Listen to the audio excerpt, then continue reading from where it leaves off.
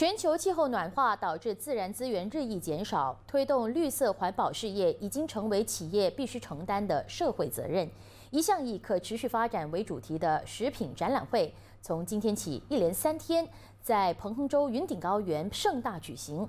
来自国内外的餐饮业业者聚首一堂，分享行业内最新的实践方案。云顶世界宣布与五家企业签署总值一千两百万令吉的谅解备忘录，承诺为提倡绿色经济贡献一份勉励。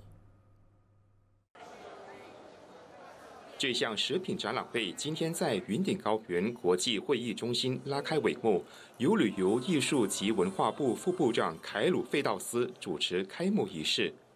活动第一天共签署三份谅解备忘录，另外两份谅解备忘录则会在明天签署。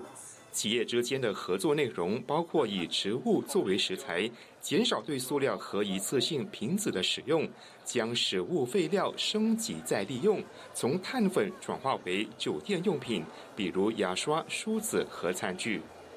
所以我希望我们会接到这个这种环保的概念，来介绍给。多点的人明白为什么我们人类要去做多点为我们的啊整个世界。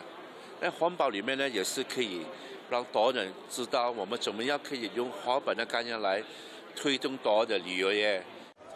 一系列的精彩活动包括免费研讨会。卖家与买家相互交流，寻求合作机会。此外，大会也向七位厨师颁发了徽章，以表彰他们为餐饮业做出的宝贵贡献。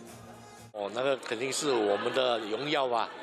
来，能能获得啊，云顶公司的举办的这个第一届的这个啊展览，然后能多少能得到这个 Super Chef 的，肯定是很开心。